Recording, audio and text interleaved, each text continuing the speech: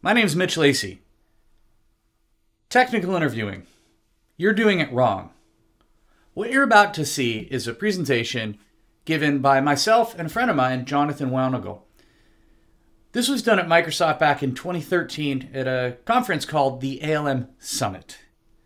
In this, in this talk, we presented a bunch of dysfunctional interviewing patterns for technical people and then some solutions on how to do it well. I've outlined this in my book as well, the Scrum Field Guide. So please give it a watch. Hit that like, hit that subscribe button, and uh, any comments, please throw in and let's get the discussion started. Enjoy the video. Okay. And look at that. We just happened to time it perfectly that at 11:02 the song ends. Anybody know that band? No, didn't ring a bell. Death Cab for Cutie, local band. There you go. Awesome. Um, technical interviewing, you're doing it wrong. In fact, in fact, well, well, yeah, they're doing it wrong, not us, because we're good. Someone's doing it wrong. Someone's doing it wrong. So we're going to talk about technical interviewing, doing it wrong, um, and uh, let's dive in, shall we? Logistics. The one thing we need to tell you is that lunch is after this. Uh, there are 400 people approximately at this conference, which means that when you're done, you're going to be standing in line for 20 minutes and you only get 45 minutes for lunch. So, being the nice gentlemen that we are, we have decided that we will release you slightly early so that you may fill your bellies. All right. So I'll, I'll, introduce Mitch for him. Mitch is author of the Scrum Field Guide. It's a good book about Agile, about Scrum. You should pick it up, take a look. He's got 15 years of project management experience, and he's got his full belt of Agile merit badges. Been a Scrum Alliance Board member, Agile Alliance Board member, Certified Scrum Master. And he's got a blog and a, a Twitter address you can check out. And this is my buddy Jonathan. Jonathan's a dev lead over in Codeplex. Anyone know what Codeplex is? Little little little shout out for Codeplex. Yay! It's ranked number two to who? GitHub. GitHub. It's ranked number two to GitHub. And then it was ranked number two to who before that? Google Code. Google Code. Okay. The good thing here is, is that it's constantly ranked number two. Woohoo. Because if you're number one, you're a target. And if you're number three, you're a loser. So number two is where you want to be. There you go. There you go. Um, Jonathan's been doing this crazy agile stuff for a long time. When I worked here at Microsoft, we used to banter back and forth on aliases and have, have good times together. So this is actually the first time we've had the opportunity to present and do some fun stuff together, so we're looking forward to it. Uh, we both conducted lots of interviews, and that is what you are here to learn. You are here to learn about technical interviewing, ways to do it differently, not necessarily better or the same thing, but different. So, we're going to talk about reasons to change. We're going to talk about ways to set up and create a good interview experience, both for you as the interviewer, but also for the interviewee. And then there's common interviewing mistakes.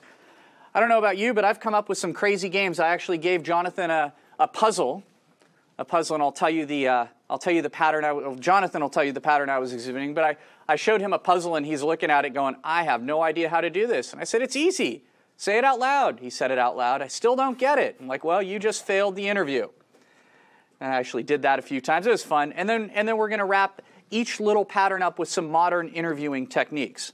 So why on earth would you want to change your interview process? Give me one reason for you guys. Yeah, okay, well, for all the crap that says on the screen. blah, blah, blah, things and stuff, right? Um, one of the things that you're going to hear us talk about is a forecast. A forecast, and, and that, what that is, it's the ability for you to increase your confidence in what you think the candidate will be good at or bad at inside your company. Because at the end of the day, that's what you really want. We do an interview, we come up with an assessment. What's our forecast? How long will it take for them to get up and running? How long will it take for them to adapt? How well are they going to fit the culture? Stuff like that. Because what we're trying to do is minimize the cost from bad hires. We've all made bad hiring decisions. I have made bad hiring decisions, right? And the, the cost to be able to get rid of that person is astronomical. Not only is that person poisoning the well, but you have all these other people inside the company, inside the group, inside the team that are saying, look, if this guy doesn't go, I'm out of here. And that sucks. That's a big problem for management and leadership. Best way to solve it? Don't have the problem. That gets to number three, ensuring a good cultural fit. And lastly, you have to make sure that you're having a good impression on your candidates because people are going to come through, and we're going to show you these patterns here. People are going to come through and they're going to sit there and they're going to say, Seriously? Are you kidding? No, dude, really? Are you kidding? And you're going to go, No, this is a real interview. And that person's going to go, Oh, these guys are tools. They don't know anything. So, these are actually a lot of fun. Jonathan, walk us through the interviewing fundamentals. Uh, so, so, there's a few fundamental things to think about in interviewing that, that we'll be referring to in the rest of the presentation. One, if you talk to all the top recruiters in the world, they all agree there's only three fundamental interviewing questions. Can they do the job? Will they be motivated? And would they get along with coworkers? So really think about all the questions you ask, everything you do in interviews, uh, they're really fundamentally trying to answer one of these three questions. And so everything you do relates to this in some way. And, and I, I want to stress the importance of both creating an accurate forecast. And again, by forecast, we mean not trying to judge by a bar, but trying to imagine what would happen if this person joined your company. Six months, what it would look like? 12 months, what would it look like? So it's, it's predicting the future of what this person's result would be at the company. And the positive interviewing experience. This is something people do not think about enough. Really making sure that interviewing with you, with your company, is a good experience for the candidate. And so the presentation, we've structured into a set of higher and anti-patterns.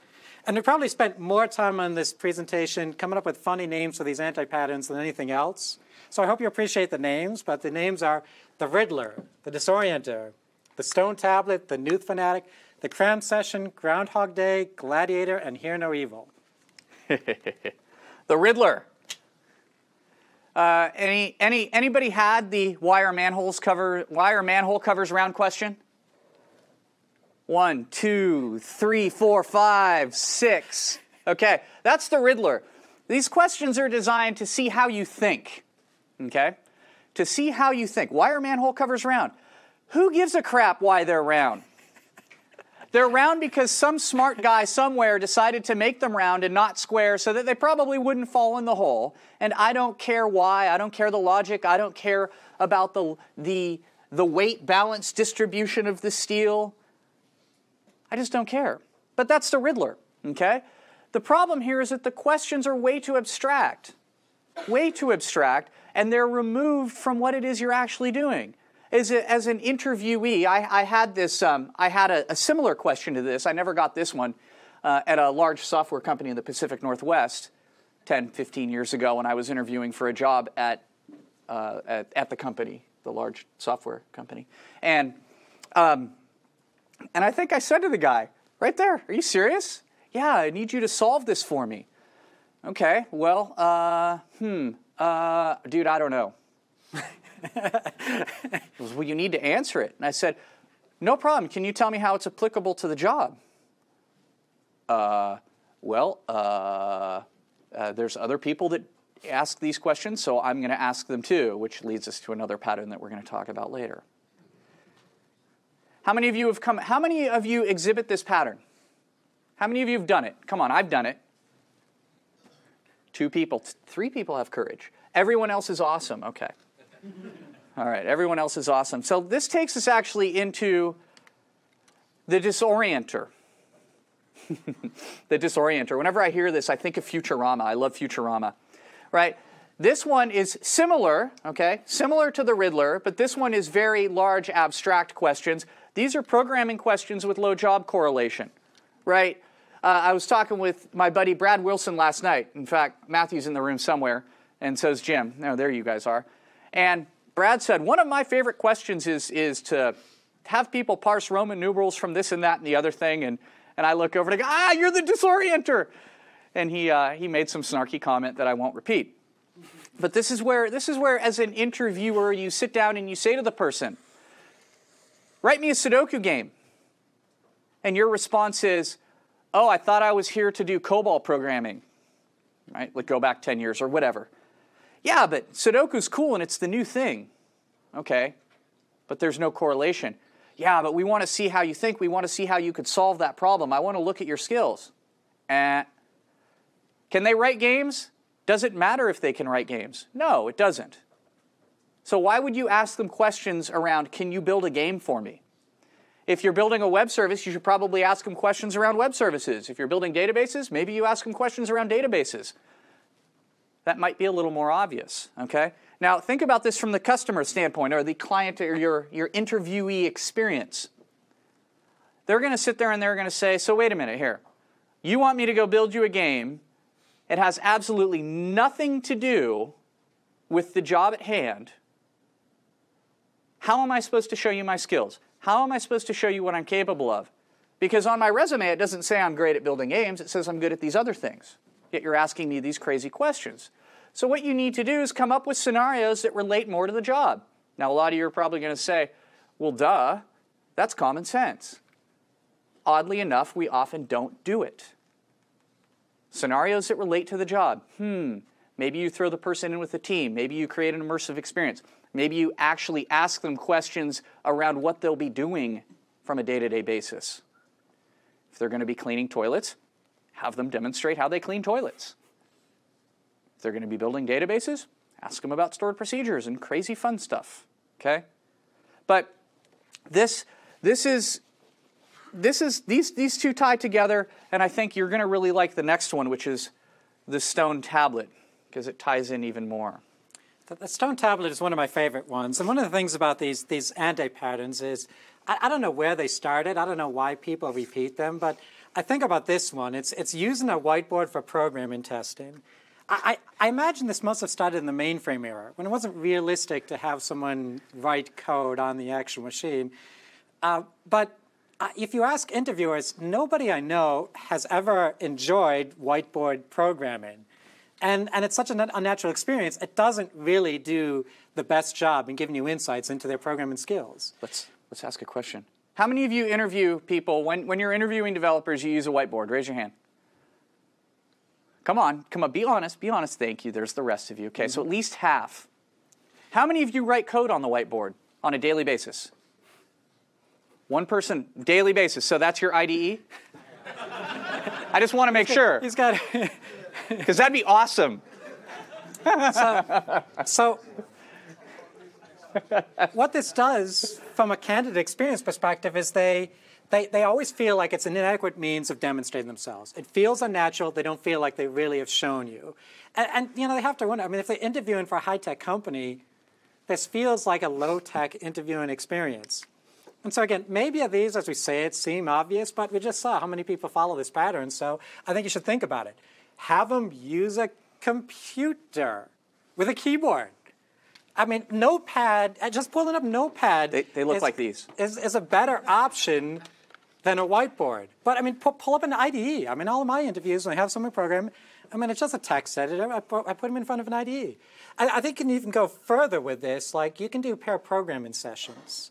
I mean, this, a pair programming session will give you insights not just into their, their programming skills, but it can also give you insights into their collaboration and some cultural characteristics.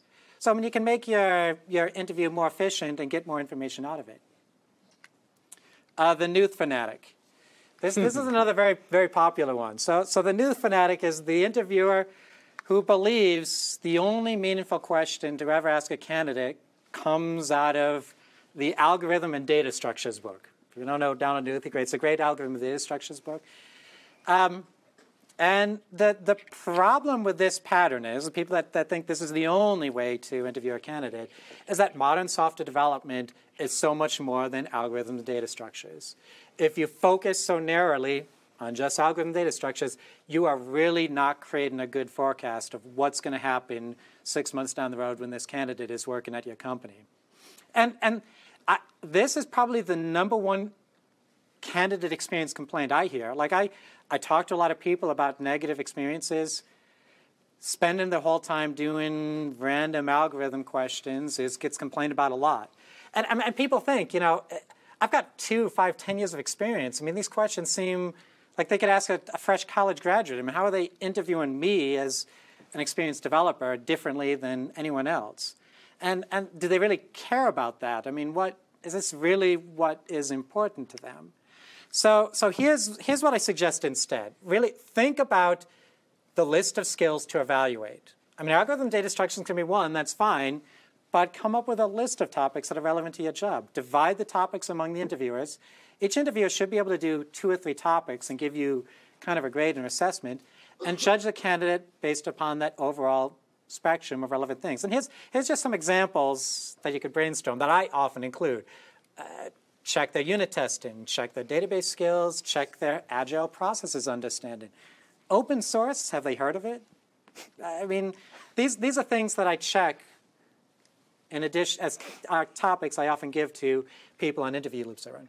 And, and, and try to take an immersive approach, simulate working with the person. That, that is, can, is, does a good job of giving you more insights as well as uh, creating a positive interviewing experience.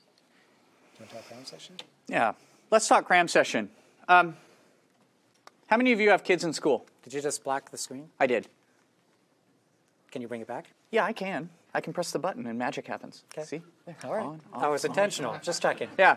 I thought you accidentally hit this, the black screen No, button. no, no, no. I, I, I pressed the button. so we have people in Theatrics we didn't practice. You Theatrics, theatrics in practice, yes. Yeah, when we did our dry run, we didn't have the button, so now we have the button, so I get to confuse Jonathan. Um, Fine. cram session. You get some of you have kids in school. I have kids in school. Uh, my oldest daughter Ashley just did uh, finals. I think it was last week. Anybody have finals recently? What did what was the behavior of the kid of your child? Freaking out over memorization. Exactly. That's exactly what this one is. Which is, if I go off and I study all this stuff and I sit down and I answer the right question, then I get the job. When I interviewed here, I'm sorry, at large software company, I sat down with a friend of mine. Microsoft interviewed a lot of these patterns. Uh, Yes. Invented a lot of these patterns. So I sit down with a friend of mine and I say, I'm really nervous, similar to our teenagers. I'm really nervous about the interview. What should I study? What should I know? What answers are they looking for? Oh, well, what they're looking for is this. If you can answer this and this and this and this, you'll probably get the job. So I said, Well, I, don't, but two of those things I don't know. Oh, it's okay. Just here. What was the word you used again? No, after that. Memorize. Memorize this script. And if this question comes up, give this answer. Anyone done that before? Never studied for an interview before? All right, okay. And give this answer. So I did this. I did this. I gave the answer. The guy asked me a question on, you know, some soap call, something or other. And so, of course, I had to go up to the, where did I go in the room? We're in an office. The whiteboard, because he's a stone tablet interviewer. So I go up to the whiteboard and I write some things down. Oh, that's an interesting approach. Why that approach? And found it. Blah. I spew out the information that he's looking for, and he says, I like your style. Why, thank you, sir. May I have another? Sure. And I got the job. Was I qualified? Eh, mostly. right? But was I able to pass the test? Absolutely. And that's all that mattered. I, I went back from the college experience and I said, all right, cram, cram, cram, cram, cram. What do I need to do? And off I went and did it. Studying for an interview, if you spend a week studying for an interview, you're probably going to get the wrong person in your company. You're going to get a person who's good at answering the questions you want to hear, not who's good with the cultural fit or meets the skills that you're actually looking for. Because all they're doing is passing a test, which is going to take us into a couple other patterns here that we're going to show you. But really, going back to what Jonathan said, with the Knuth Fanatic, right, here I have all this experience, but you're asking me these basic rudimentary questions that probably haven't changed over time that anybody can answer. And if I wanted to go pull it up on the pull it up on the interwebs, I could find the answer. What was the one we talked about last night, Jim? How do you write a unit test for Hello World? And your answer was I don't I don't know. I don't know and I don't care. That's what that's what search engines are for. Right? So in this case, in this case you you want to create immersive experience that allows you, the interviewer, and the team that hopefully you're interviewing with, because Jonathan said, said this on the last one, we want to create an immersive experience. An immersive experience is one that actually represents what the candidate will be doing on a day to day basis. Meaning, instead of coming in and cramming, it's you're just going to sit down and be yourself. Explain who you are, show what you're capable of doing, which means your questions are going to be different because what you're looking for are skills and competencies. Does that make sense? The stone tablet one I love. Hopefully, no one will do the stone tablet anymore after this. One of my favorite movies of all time. Anyone else like Groundhog Day? Bill Murray? Yeah. Day two was awesome. Yay, I get to do all the cool stuff I didn't do yesterday. Day 365 was terrible. Okay? And this was similar to what we were just talking about. I'm going to ask you the same questions over and over and over and over again. How many of you, and be honest with me, how many of you are using the same interview questions today that you were using five and 10 years ago? Thank you. Now, you may say to yourself, they're great questions, and I like them. Or you may say to yourself, eh, maybe they suck and I don't know. But what this is, is it gives you false positives and negatives because you're asking, you have this book of questions, and you're asking these candidates a script. And the script may or may not fit what it is you're looking for. It may, may or may not fit the job role, the job title. It may not even fit the culture of the company anymore because the cultures emerge, cultures change. So as a result, you're going to get these indicators that may tell you, oh, the candidate's great. And you find out six months later that they're not great, you just asked the wrong question.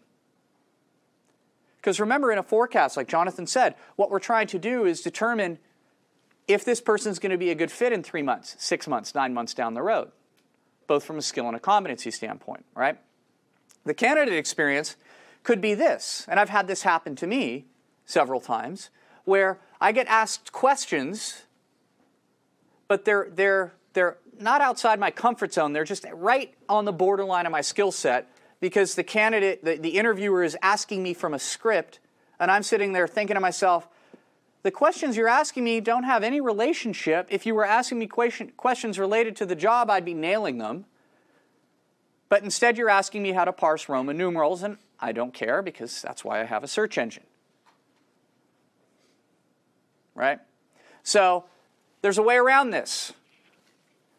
Very similar to the cram session, right? The last bullet. Good thing I asked my buddy what they asked beforehand, so I got the job anyway. How many times have you guys found yourself in the situation where you ask the same questions, you get a person in the company, and you go, well, bad fit, we screwed up? Thank you. One person. So everybody is awesome at hiring. Dude, well, think, that's why they came here. I think they need to come up here. We right. need to go sit over there. They'll get their turn. All right. Let's talk about um, the gladiator. Uh, this, is, this is a fun one. You, you know those companies that take pride in how tough their interviews are? No, we, we, we only accept the best and the brightest. So we need to make our interviews really, really difficult so only the best and the brightest can pass it. So they, they do this by, by creating not, not an interview, but it's, it's, a, it's like an, an episode of American Gladiator. It's like a gauntlet of challenges. You know, we're going to hit you with the toughest questions, the hardest questions, and see if you can survive this battle. And you have to face Gandalf at the end. the um, the problem with this, huh? The gray or the white? Uh, the gray. the gray is far cooler. The, the, the problem with this approach is, is when you create an adversarial interview in it context, you know, it, it also creates a lot of stress on it. And, and this affects the candidate in ways, I mean, it affects the candidate's focus, it affects the candidate's ability to really work through these sessions. And, and and hopefully, you know, severe stress management is not an adversarial, dealing with adversarial situations is not core requirement for working at your company. It's not one of the most important things. And, and, and the candidate experience really couldn't be worse. I mean, they go through and they felt like they just talked to a bunch of the most egotistical set of people that they've ever interviewed with. And all this toughness, prove yourself to me kind of approach why they didn't enjoy the experience. Why would they enjoy working at the company? They don't want to be. They don't want to come back. It feels like, it feels like a traumatic episode. So the the the alternative techniques that you can use instead. Don't make the interview a challenge. Don't create this adversarial environment. Make it an exploratory conversation. Make it about learning about each other, figuring out what they know, not not challenging them, just just discovery, discovery, um, and and this will create a much better context, and it's also going to help you understand. It's like mapping, getting a map of what the candidate knows and what the candidate is capable of, and, and that gives you a better sense of the candidate, and it's a much much better interviewing experience. Did I just turn off your clicker? No. No. Okay. Uh, so, hear no evil. This, if, if, there's any pattern I would suggest you think about, if there's any pattern I suggest you change, this is the one that I suggest. Hear no evil is never seeking feedback. Now, for me, this is something I changed a few years ago. I said, you know, I wonder if I, I you know, I look at other people's interviewing technique and say, yeah, I don't, I don't think it's very good, but I think I'm, mine's pretty good. But, uh, you know, how did I know? I, I, I was just fairly confident in my interviewing skills. I decided to start asking candidates, like people would hire. I started with people I'd hire, and I'd say, you know, by the way, you know, in the, in the interviews, so how would you rate the candidates? What are some of the comments you'd make about the interviewing experience? What were some of the things you thought made you believe the candidate was a, the, the interviewer was a better or worse interviewer? I, that was really what changed how I think about this, maybe more passionate about this topic of, of good interviewing techniques. It's also how I discovered, really discovered all these anti-patterns, because they started showing up in this feedback. And so, it, eh, you know, for people who never seek feedback from candidates, you know, some of the problems you get is your forecasting doesn't improve. You mean your your candidate experience, maybe it's good, it's maybe it's painful. You know, if, if you're not getting the feedback, I guarantee you there's things you're doing wrong. There's things other people on your interviewing days are doing wrong that you're probably not realizing, you're probably not thinking about. So, if nothing else, please think about this one. And I'll give an example. I think I broke your clicker. No, you're there. So, I'll give some. So fundamentally, I just changed. I started getting feedback from people. I mean, I, I recommend if you're not, if, if you haven't done this, you haven't thought of this, Send post interview surveys to all of the candidates that come through. Ask them for some ratings on the interviewers they talk to about how, ask them how, how good do they think each interviewer was in terms of the quality of the interview and the quality of the interview experience. I mean, those are the two questions I would suggest you ask them. And, and general feedback about the interview session I, I think you will be surprised. And as I said, these, these anti patterns largely discovered out of this feedback. And I, I mentioned a couple of times what you will hear, what people tend to complain about most. This is how I discovered them. And, and what do you do with this feedback? You then use it. Collect the tips of the top rated interviews, discover what they're doing differently, share it, discover which one of the lower ranked interviewers, figure out what they're doing wrong, share some of the top tips with them, let them know, by the way, there's something that you're doing in your interviews that's creating a bad experience or is not impressing the candidates. So, I, I, again, of all the patterns, this is the one I most recommend yeah. that you think about, that you do something about. Um, do you want to go to the next one? How you want to do it? I do. Okay, go for it. That. Go for it. All right, yeah. so let's have a little bit of fun. This is a, this is an interview question that I used to give candidates when I worked at large software company in Pacific Northwest. Uh, and if you if you know the answer, don't blurt it out. I want to see if people can solve it. What you're going to do is you're going to solve for the for the there were, there are four lines on the screen, and what you need to do is solve the fifth. I had one candidate who took an hour, and he didn't say he was he didn't give up. He said, "I can do it. I can do it. I can do it." The hour ended, and he said, "Crap, I don't know." And I said, okay, well, it's this. And he goes, oh, I was going to put that. Who's seen this one before? Anyone seen it before? Okay? I actually have this on my blog from like five years ago. Who knows it? What is it?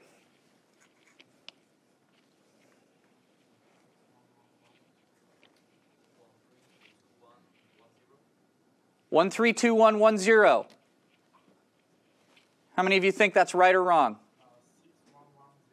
Six one one zero. Okay. Five three one. No, I got. I spent 10 minutes, if we should have spent 10 minutes looking at it. I was sure I could figure it out. And then he told me the trick. I was pissed off. Bad experience. Yeah. So, so I, I will say this. There, I did hear a right answer. Let me just let's let me walk you through it. Everybody simultaneously read the first row to me. Zero. zero. Read row number two. One zero. One zero. Read row number three. One one one zero. Read row number four. 3110. And row number five, 1 3, 2 1, 1 0. I am a dick. that is a messed up interview question, right? And to let some poor guy sit there and stew for an hour, right? Here we are, right here. The disorienter and the Riddler. What other one was I exhibiting? Groundhog Day. Groundhog Day. Yeah, absolutely. Groundhog Day. Probably hear no evil in that one as well. And, and, and absolutely, people would say to me, "Oh, that's a messed up interview question." I said, "It's fun. it's fun. It's not for the benefit of the interviewee. it is not for the benefit of the interviewee. So if you ever want to mess with somebody, I mean, really mess with them, throw this up on the whiteboard and say, "Solve it," and go back to your email understand that you're being a jerk. So, um, lastly, when we talk, what we want here is you want a good outcome, right? Your, your goal here is to have a strong company that's able to adapt to change as it emerges in the marketplace. You want to have a good, rich culture, one that values learning. Jonathan, you heard him say that in the in the, in the last one there, in the last pattern that we had. You want, you want your ability, your confidence to be able to be very high when you give that person the job, which means you could go about it two ways. You can ask people a bunch of questions inside of a closed room or an office, right? Or you could throw them into the shark tank and see what happens. If you are an agile team or any team, create an immersive experience. Have the candidate spend a day with the team. Have them do planning. Have them do coding. Have them do testing. Have them do documentation. Because the best way to assess the skills and the competencies, and I will say the competencies are more important sometimes or most of the times than the skills, the best way to do that is to by sit, sitting down and doing it together. Jim and I had this discussion last night. Jim Jim teaches a, a class over at the University of Washington, a Agile certification program. The discussion, one of the points last night was, in order for you to build a strong team, you have the mic, you said. I don't know what, I don't remember what you, you were talking, talking about building, you were talking about team building, and we were talking about distributed. How, what's, how, do you, how do you build teams? How do you get, what do you need? So, uh, team building is about building the way I and I didn't say it well last night because I thought about it afterwards. Uh, software is a human endeavor. Okay, and the way that humans work together is they build relationships and they understand strengths, weaknesses, pros, cons, who's good at what, who's not good at what, and they all figure it out as a team. Uh, if you think about in terms of distributing that team, you still have to build those personal relationships, and you can't build them over instant messenger or the phone or whatever. So they have to be built together. Uh, so when I, I've run distributed teams in India, China, uh, wherever, and uh, the way I do it is I move people around. So people go and spend significant amount, um, amounts of time in the other locations because they have to build personal relationships. Now think about that in terms of interviewing. You could think about I'm going to go see person A, person B, person C. That is a distributed team. What you really want is the relationship, the personal, the, the personal touch, my strengths, my weaknesses. That's where the immersion comes in. That's where the understanding the competencies come in. That's where throwing them into the pool comes in and say, I'm working on this API. Hey, Jonathan, you're the candidate. Um, what are your skills? Oh, I'm good at this. Oh, cool, dude, I'm doing some of that. Here, have a go. Inter- interview on. And Jonathan says, Well, I don't, I'm not sure. I don't know how to do that. Okay, what did I just learn as an interviewee? I learned that now this person is an adult, right? They have the ability to say what they know and don't know. Is that a value that we want in our team? Yeah. Oh, oh, you don't know? Oh, dude, well here, let me let me explain it a little bit. And then he says, "Oh, have you thought about that? I didn't think about that. That's a cool Let's here, implement that. Now I'm learning something. Is that a value that I want? Yeah. And is he demonstrating the skills? Yeah.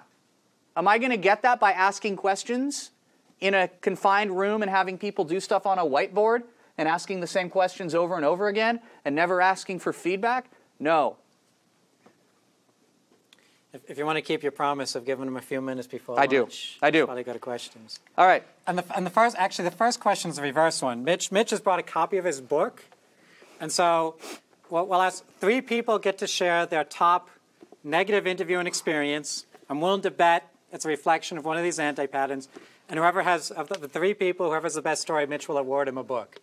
So, Yay. so raise your hand if you want to. I'll even sign it and make it out to eBay user. Do, do, do we have to do a review of it? Do? No. Okay, good. Okay, good. So raise your hand if you want to share a story. This is a pretty old story, but uh, it still stands out today. This is back when assembly language programming was common, and it was on an old machine. Sat down in an interview one time, and someone asked me to list all of the opcodes for the processor along with their octal equivalents. And since I'm saying octal rather than hex, you can tell how long ago it was. It was actually kind of fun. I berated the guy for about 10 minutes, told him why it was the stupidest question ever asked, and then gave him the list in alphabetical order and numerical order. uh, I, I got, I got a call. I, the one you told I, me I got a call back from one of the HR people said, uh, "We're not hiring you because you seem to know too much." I th- we have a leader so far. Okay, who's got, who's got another story? right. That's Sit that's a, that's a Groundhog Day for me. I'll be right there. Get to work out. Come on, Jim, hustle, hustle. Get your get your Nike fuel up. That's right. I'll, I'll have more fuel now. More fuel. So I used to work at a company, and I can't really say the company, but its initials are GE, and um, and we were required after we interviewed everybody to provide specific quantitative feedback on why we hired one person versus another. So we had, and we were required to ask the same questions to every interviewee candidate, so that we could score them on a one to ten basis, and then provide them sort of a numerical ranking on who we hired and who we didn't hire based off those numbers. So, so a company policy, a Groundhog Day company policy. So my favorite quote about uh, a company with the last the letters of GE is GE are the last two letters in garbage. All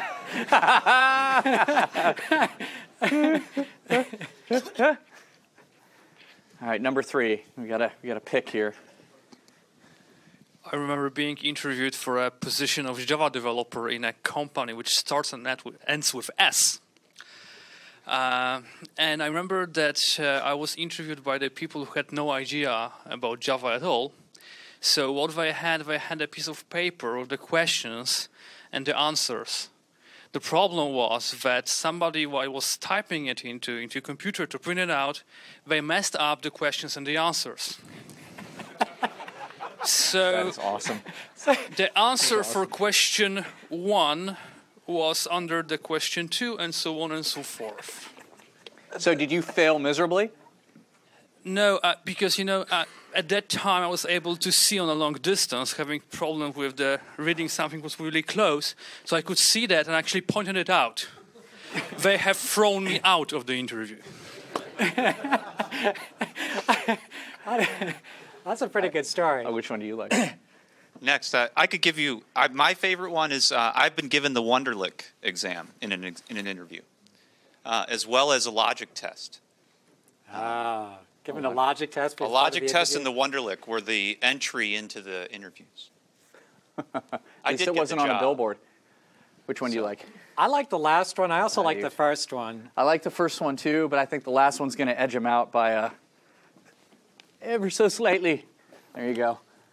Thank you very much. You bet. All right, questions. Do you want to go, We got them up on the board here. do you want to, go to the question? Well, we can go to this. We don't have to go to the questions. Right here.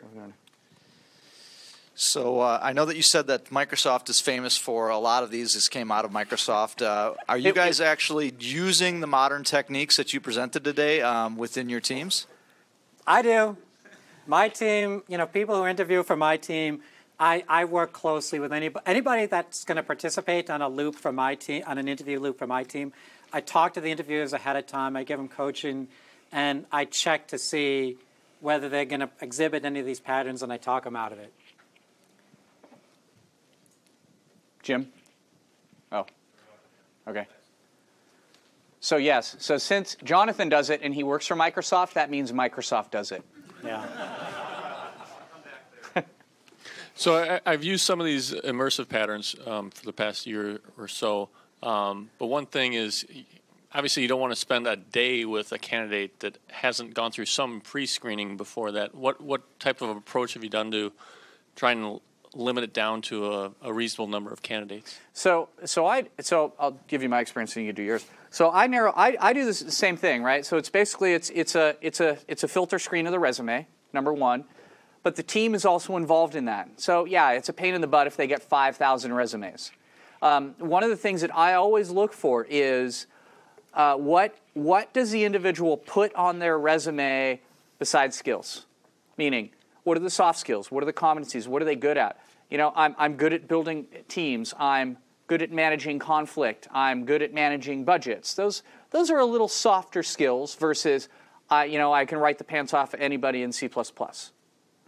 So it's it's still that initial screen training of the HR department to look for that, to look for wait, what do we as a company value? Well, we value these behaviors. If you think you see those behaviors, those traits, those competencies, then let's then why don't you call up that candidate or let's bring them in. I, you know, I, I think you could do another another session about pre-screening candidates. I mean, Yeah. Uh, for me, it's the usual looking at resumes, and I've looked at resumes a long time. Cues I look for is does the resume look like it was written as trying to include the right words in it versus was the resume written to try to express who they are? I, I like the resumes that are better about trying to express who they are versus including a list that they think you'll like. Um, phone screens, I, I do phone screens. I talk to the candidate, you know, getting a sense of, I ask them questions that do exploration, try to get a sense about them. I, I you know, I, I think those are going to get, you're still going to have people come in and fail interviews, but you can reasonably determine whether someone has a shot that way. And additionally, and I, I, I don't have any I, I don't have any data yet because we're not done running the experiments, but uh, video. So when you submit, submit a two minute video, no more than two minutes about whatever you want. Right? So when I so some of the ones that strike me as good, the ones that I like, are the ones that say, here's who I am, here's what I like, here are my values, right? Here's the type of environment I want to work in, and I and I have these skills. The ones I don't like are the ones that say, here's who I am, here's a sample of my code on how I solved a problem. That doesn't tell me anything about you other than you know how to record a screen.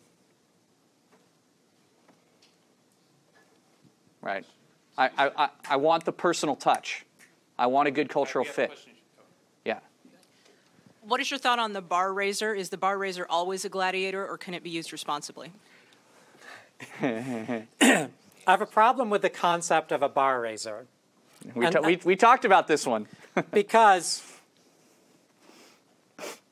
let, let's assume the market is perfect in terms of you know market dynamics people the best developers have the highest salary requirements then saying you have a bar raising requirement basically you should say we only hire people that deserve 300000 a year that's how you're going to get the best candidates and so uh, to me, it's like the whole concept of bar raiser confuses me because it's like, fine, I can show you all the best developers. They, they cost a lot.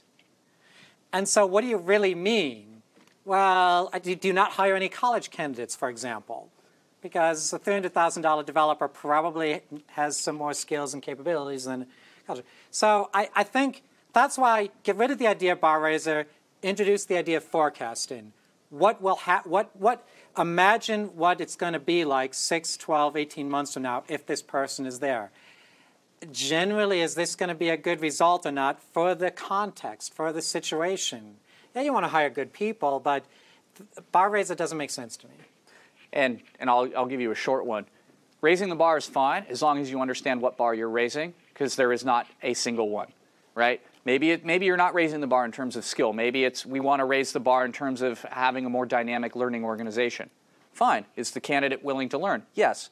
Do they have any skills? No. Can we teach them the skills? Yes. Can we teach them how to learn? No. Right? It's easy to learn. It's much easier to learn C sharp than it is to learn how to give constructive feedback or how to take criticism. Back to Jim. Uh, I heard you mention um, the interview loop a second ago. How do you feel about? And I assume there's a process there, meaning one one after another. Uh, how do you feel about the panel or group interview, which maybe could be gladiator session, maybe not? But what's your just general thought on it? I, I haven't experimented a lot with it. Do you? Do you have a comment? So, I, yeah, I do have a comment. I have lots of comments. Go for um, it. So I love it. I hate the single one person interview and you go person, person, person because you don't get an accurate representation. All you're getting is how well are they able to answer my questions. When you think about the group interview, it's not like a, a gladiator group session where you get five people inside of a conference room and the per- poor person is sitting at the end of the table dodging bullets. It's I'm working in the team space and I'm actually, you know, I'm going to go pair with Jonathan for a couple hours and then we're going to go get lunch and then I'm going to go pair with Matthew for a couple hours. And then we're going to go get a coffee. Then I'm going to go pair with Jim for a couple hours. And while I'm pairing with Matthew, Jonathan's writing notes up on me. Okay? And then I go pair with Jim. Now Matthew and Jonathan are talking. Oh, what'd you guys think? What'd you guys think? And then I go home at the end of the day, and the team gets together and says, What did we think? Here's what we were looking for. How do we felt the person did? but it's not a it's not an adversarial it's not us asking you questions it's a you hanging out with us for the day. And that's a totally different dynamic. You're you're in the game versus i'm you know i'm i am qualified coach please put me in. So and there was one over. Yeah. My question was similar in the the group interviews. It who should be interviewing? Is it someone of a like trade obviously the person who had the java there wasn't anybody that could have interviewed him on Java or they wouldn't have used the script. But does it have to be a manager who may or may not know the technical skills, or does it need to be a like developer? If it's a business analyst, does it need to be a business analyst or the entire team? Who should be doing this interview? I think the person that the people who are the best technical interviewers are the best people to be doing the interviews. And I've seen managers who are total crap interviewers, and I've seen relatively you know, inexperienced people who really seem to naturally get this stuff. I mean, maybe it's because they haven't learned all the anti-patterns that people repeat. I, I think look for, I mean, look for interviewing skill more than that. Now, of course, I think they have to have some basis for, like, I wouldn't, I wouldn't, I wouldn't ask a technical writer to assess someone's database development skills. So there has to be some context there, but, but capability, quality of technical interview skills matters a lot to me. And also understand, I mean, the, the title of our talk is technical interviewing. So if you take that out and you say, well, it's not technical interviewing, it's interviewing in general, then it becomes the point of, you know, who's, who's best to determine if the person's a good team player? Who's best to determine if they have courage? Right? Maybe, maybe we want courage on our team more than we want the technical skill. So it could be that the manager is bad at determining if somebody has courage, but the janitor is good. So one, maybe two yeah, more one, questions. Let's go one, people? one more. Okay. Yeah, so you started to touch on some questions I would have. Not all of the positions that you're interviewing for are line producers necessarily.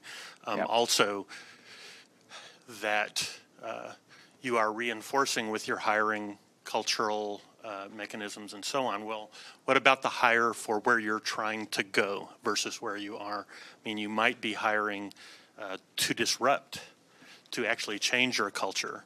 Um, you might be hiring for, I mean, you're looking now for courage. You're looking for things that that are not maybe the commodity technical skills. Right. And at the same time, you might n- need those skills, or at least think you need those skills, because sure enough, if we're interviewing technical leaders, Yes. we're asking about that stuff too. Um, and let's see, I, I had a bunch of them, but that's probably enough. I, I remember on one of the slides, we, we put hire for desired culture. And the desired word is very important there because your existing culture may not be your desired culture. And so you you had one. I think we can we can squeak it in. Oh, but hold on, hold on. They, it's Has to go on the microphone to go on the recording. So you can ask it twice.